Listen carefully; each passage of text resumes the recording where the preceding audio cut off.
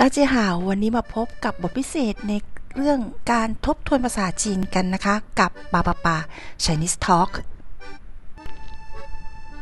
หนีหาวหนีหาวหนีหาว สวัสดี 你好，你叫什么名字？你叫什么名字？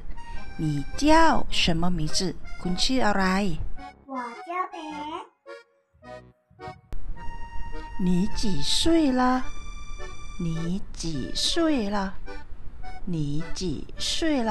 คุณมีอายุเท่าไหร่ 我七岁了，你是哪国人？你是哪国人？你是哪国人？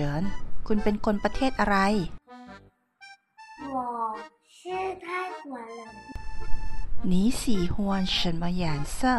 你喜欢什么颜色？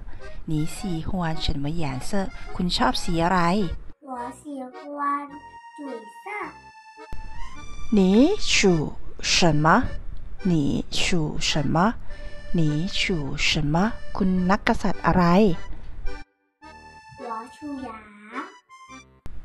เป็นยังไงกันบ้างคะ ได้นำมาทบทวนภาษาจีนที่เราเรียนกันมาหลาย EP ด้วยกันเนาะ ไม่ยากจนเกินไปอย่าลืมกลับไปทบทวนกันนะคะ แล้วก็กดไลค์ กดแชร์ กด subscribe ให้ด้วยนะ再见。